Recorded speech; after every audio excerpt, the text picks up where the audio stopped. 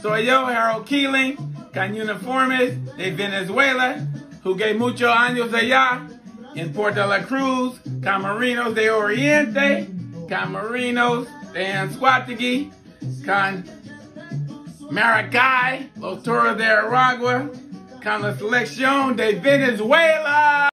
Harold Killing, un estadounidense nacionalizado venezolano, llegó al país a finales de la década de 1980. Killing era un jugador de baloncesto de gran talento que participó en la NBA con los Dallas Mavericks y rápidamente se convirtió en una estrella en el país. No solo fue un gran jugador, también ha sido un buen maestro.